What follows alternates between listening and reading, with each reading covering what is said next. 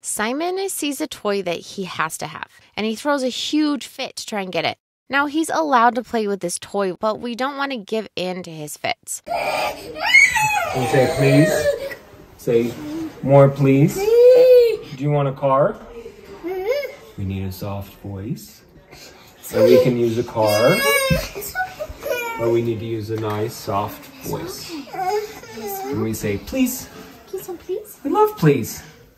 Simon can use a car. We love cars. We love Lightning McQueens. Chicago wee.